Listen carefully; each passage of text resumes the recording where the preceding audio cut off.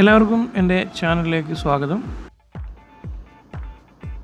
ആദ്യമായിട്ട് നമ്മുടെ ഈ ഫ്രണ്ട് ബ്രേക്ക് കേബിൾ ഇതുപോലെ ക്യാം ലിവർ ഒരല്പം മുകളിലേക്ക് പൊന്തിച്ച് ഇങ്ങനെ ഊരിയെടുക്കുക.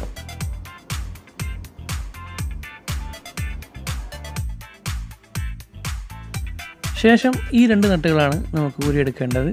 അതിനായിട്ട് പതിമൂന്ന് എം എമ്മിന്റെ ഒരു റിംഗ് സ്പാനർ വെച്ച് ഇത് ഇതുപോലെ ഊരിയെടുക്കുക.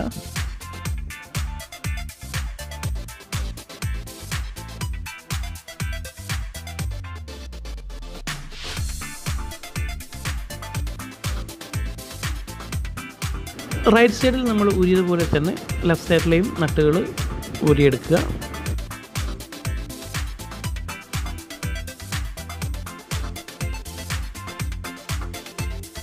അതിനുശേഷം നമ്മൾ ഈ രണ്ട് ലെഗ് ക്യാപ്പുകൾ അതായത് ലെഫ്റ്റ് സൈഡിലെയും റൈറ്റ് സൈഡിലെയും രണ്ട് ലെഗ് ക്യാപ്പുകൾ ഇതുപോലെ ഊരിയെടുക്കുക. അങ്ങനെ സിമ്പിളാണ് ശേഷം ഈ കേബിൾ ഇതാണ് സ്പീഡോമീറ്റർ കേബിൾ ഇതാണ് നമുക്ക് മാറ്റേണ്ടത്. അതിങ്ങനെ ഒരു പ്ലെയർ വെച്ച് ഇതുപോലെ നട്ട് ലൂസ് ചെയ്തെടുക്കുക. ഒരു അലൂമിനിയം നട്ടാണ്. അത് ഇതുപോലെ നമ്മൾ ലൂസ് ചെയ്ത് കഴിഞ്ഞാൽ നമുക്ക് ഈസി ആയിട്ട് ഊരിയെടുക്കാൻ വേണ്ടി പറ്റും.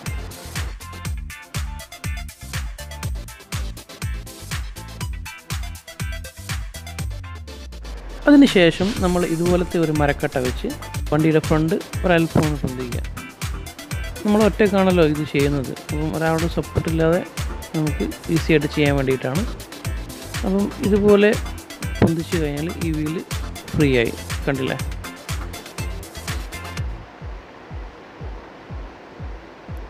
ഇനി നമുക്ക് വളരെ ഈസി ആയിട്ട് എളുപ്പത്തിൽ കണ്ടോ? ഈ വീൽ ഇങ്ങനെ ഉരിയെടുക്കാൻ വേണ്ടി പറ്റും. ഇപ്പം വീൽ ഫ്രീ ആയി. ഇനി നമുക്ക് മാറ്റേണ്ടത് ഈ നട്ടാണ്. ഇത് ഒരു ഇരുപത്തി നാല് സൈസ് നട്ടാണ്. അപ്പം അത് സ്പാനറൊന്നും വെച്ച് കഴിക്കണ്ട. നമ്മൾ ഇതുപോലെ ഒരു പഴയ സ്ക്രൂ ഡ്രൈവറോ ഒരു ഹാമറെല്ലാം വെച്ച് ഒന്ന് തട്ടി കഴിഞ്ഞാൽ ഇതുപോലെ ഈസി ആയിട്ട് ലൂസായിട്ട് അത് ഊരിയതിന് ശേഷം നമ്മൾ ഈ സ്പീഡോ ഡ്രൈവ് ഇതാണ് നമുക്ക് മാറ്റേണ്ടത്.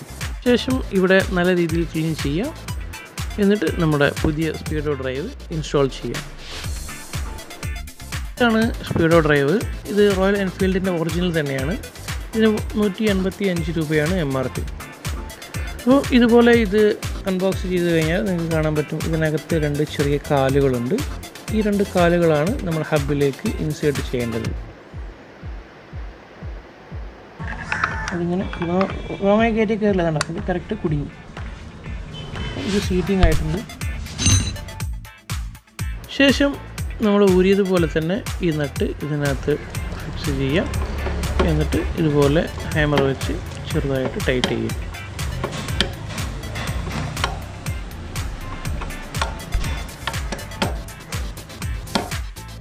നമ്മൾ ഊരിയെടുത്തതുപോലെ തന്നെ വീൽ മെയിൻ ട്യൂബിലേക്ക് ഫിക്സ് ചെയ്യാം. ഫിക്സ് ചെയ്യുമ്പോൾ നമ്മൾ ശ്രദ്ധിക്കേണ്ട ചെറിയൊരു കാര്യം ഈ മെയിൻ ട്യൂബിനകത്ത് ചെറിയ ഒരു കട്ടിംഗ് ഉണ്ട്. ഈ കട്ടിങ്ങിലേക്കാണ് ഹബ്ബ് നമ്മൾ കയറ്റി വെക്കേണ്ടത്. അപ്പം അത് പ്രത്യേകം ശ്രദ്ധിക്കുക.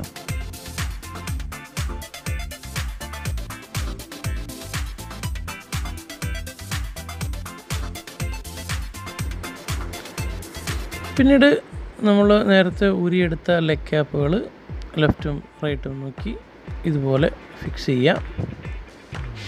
അപ്പം ശ്രദ്ധിക്കേണ്ട ഒരു കാര്യം ഈ നട്ട് ഇതിന്റെ തടിച്ച ഭാഗം താഴോട്ടായിട്ടാണ് നമ്മൾ ടൈറ്റ് ചെയ്യേണ്ടത്. അത് പ്രത്യേകം ശ്രദ്ധിക്കാം. അതുപോലെ തന്നെ നമ്മുടെ ലെഫ്റ്റ് സൈഡിലും ലെഗ് ക്യാപ്പിട്ട് നട്ട് വെച്ച് ടൈറ്റ് ചെയ്യാം. പിന്നെ ടൈറ്റ് ചെയ്യുമ്പോൾ നമ്മൾ ശ്രദ്ധിക്കേണ്ട ചെറിയ കാര്യം രണ്ട് സൈഡും അക്യുറേറ്റ് ആയിട്ട് വേണം ടൈറ്റ് ചെയ്യാൻ. ഒരു ഒരു സൈഡ് നമ്മൾ മുഴുവനായി ടൈറ്റ് ചെയ്യരുത്. രണ്ട് സൈഡും മെല്ലെ മെല്ലെ ടൈറ്റ് ചെയ്യുക.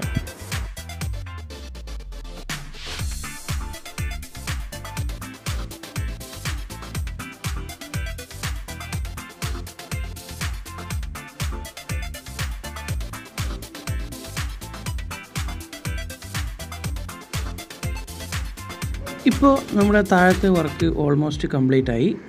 നമ്മൾ വീൽ തിരിച്ച് ഫിറ്റ് ചെയ്തു. അതുപോലെ തന്നെ സ്പീഡ് ഡ്രൈവും നമ്മൾ ഫിറ്റ് ചെയ്തു. ഇനി നമുക്ക് മാറ്റേണ്ടത് ഈ കേബിളാണ് നമ്മൾ ഓൾറെഡി താഴെ കഴിച്ചു വെച്ചതാണ്. ഇനി നമുക്കത് മുകളിലാണ് വരേണ്ടത്. അപ്പോൾ അതിന് വേണ്ടിയിട്ട് നമ്മൾ ആദ്യം ഊരേണ്ടത് ഈ ഹെഡ്ലൈറ്റിന്റെ ടോപ്പ് സൈഡിലുള്ള ചെറിയൊരു സ്ക്രൂ അതൊന്ന് ചെറുതായിട്ട് ലൂസ് ചെയ്താൽ മതി. ഊരിയെടുക്കരുത്. അങ്ങനെ ലൂസ് ചെയ്ത് കഴിഞ്ഞാൽ ഈ ഹെഡ്ലൈറ്റ് ഇതുപോലെ നമ്മുടെ കൈ വരും. അതിനുശേഷം ഇതിന് പുറകിലുള്ള ഈ ഹെഡ്ലൈറ്റിന്റെ ക്ലിപ്പുണ്ട് ഹോൾഡർ ക്ലിപ്പ് അത് നല്ല റിമൂവ് ചെയ്തിട്ട് നമ്മൾ ഈ ഹെഡ്ലൈറ്റ് സേഫായിട്ട് എവിടെയെങ്കിലും വെക്കുക. ശേഷം ഇതിനകത്ത് നിങ്ങൾക്ക് ഒരു അലൂമിനിയത്തിന്റെ റിംഗ് നട്ട് കാണാൻ പറ്റും. താഴെയുള്ളതിനേക്കാൾ കുറച്ച് വലുതായിരിക്കും. അത് ഇതുപോലെ കൈ വെച്ച് നല്ല പോയി എടുക്കുക അപ്പോൾ അതിനുശേഷം ഈ കേബിൾ മുകളിലേക്ക് വല്ല വലിച്ചു വരിക. വലുതായിട്ട് അത് വരില്ല. ഈ വലിയ നട്ട് ഇവിടെ ജാമായി പോകും. അതുകൊണ്ട് നമ്മൾ ഇത് മെല്ലെ മുകളിലേക്ക് തന്നെ കേബിൾ വലിച്ചു ഊരിയെടുക്കുക.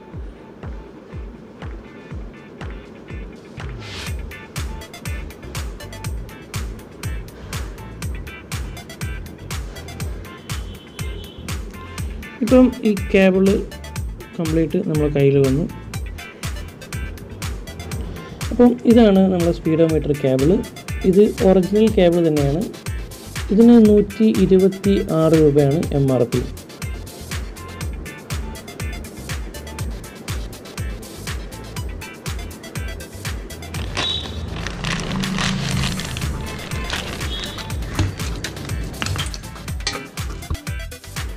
നമ്മൾ പഴയ കേബിൾ ഊരിയെടുത്തതുപോലെ തന്നെ മുകളിൽ നിന്ന് താഴോട്ട് ഇതുപോലെ വലിച്ചെടുക്കുക. ഇതിന്റെ ചെറിയ താഴെ ഫിക്സ് ചെയ്യുമ്പോൾ ചെറിയ നട്ടുണ്ട്. അതും താഴോട്ട് ഇതുപോലെ നല്ല ലൂസ് ചെയ്ത് ഇറക്കി വിടുക.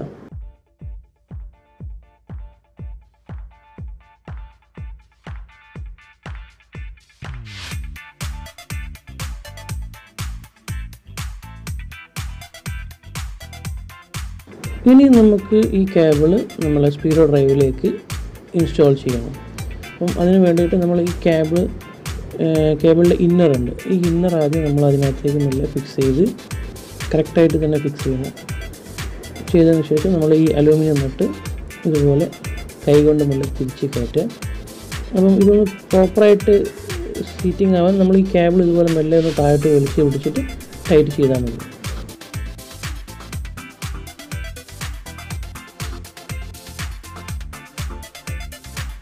പിന്നീട് ഒരു പ്ലെയർ വെച്ച് ഒന്ന് ചെറുതായിട്ട് ടൈറ്റ് ചെയ്ത് കൊടുക്കുക. ഇത് റണ്ണിങ്ങിലോ മറ്റോ ഉള്ളിൽ പോകാതിരിക്കാൻ വേണ്ടിയിട്ടാണ്.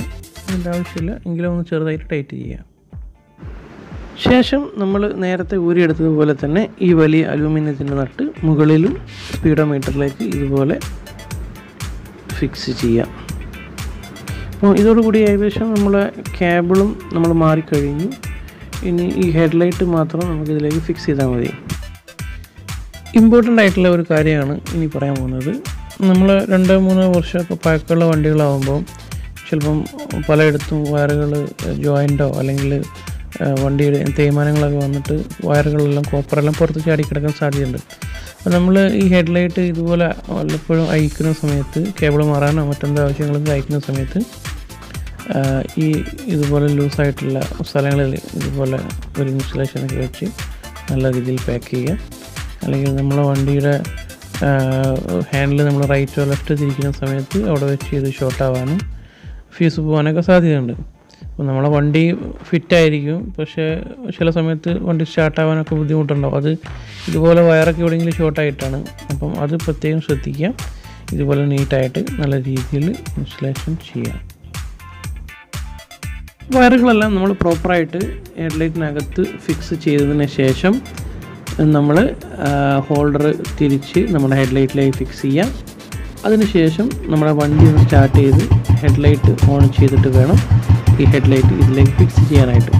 കാരണം എവിടെയെങ്കിലും വല്ല വയർ ഷോർട്ട് വരികയോ അല്ലെങ്കിൽ പീസോ മറ്റോ പെട്ടെന്ന് കത്തിപ്പോകാനുള്ള സാധ്യതയുണ്ട്. നമ്മളിങ്ങനെ ഊരി കഴിഞ്ഞാലേ.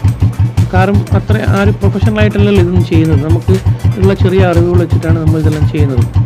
അപ്പം അത് ഇല്ലാതിരിക്കാൻ വേണ്ടിയിട്ട് സംശയം ഇല്ലാതിരിക്കാൻ വേണ്ടിയിട്ട് നമ്മൾ വണ്ടി സ്റ്റാർട്ട് ചെയ്ത് ഇങ്ങനെ ഹെഡ്ലൈറ്റ് ഓൺ ചെയ്ത് വെച്ചിട്ട് നമ്മൾ ഹെഡ്ലൈറ്റ് ഇതുപോലെ ഫിറ്റ് ചെയ്യാം.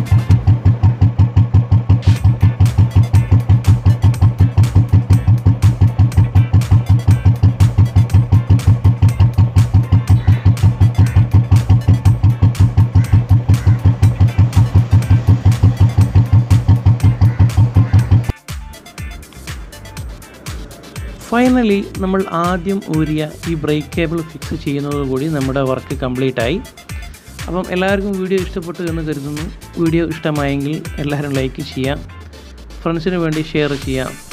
കൂടാതെ എന്റെ ചാനൽ ഒന്ന് സബ്സ്ക്രൈബ് ചെയ്ത് തൊട്ടടുത്ത് കാണുന്ന ബെല്ലൈക്കൺ അമർത്തി നോട്ടിഫിക്കേഷൻ കൂടെ എനേബിൾ ചെയ്യാം. അപ്പം എത്രയും പെട്ടെന്ന് അടുത്ത നല്ല വീഡിയോകളുമായി കാണാം.